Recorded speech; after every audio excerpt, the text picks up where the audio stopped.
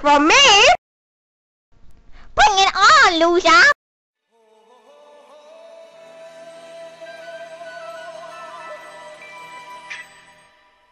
Everybody was kung fu fighting.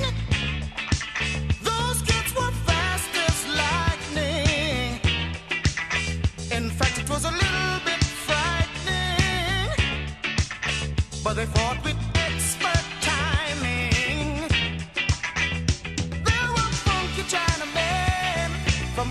Chinatown. They were chopping them up. They were chopping.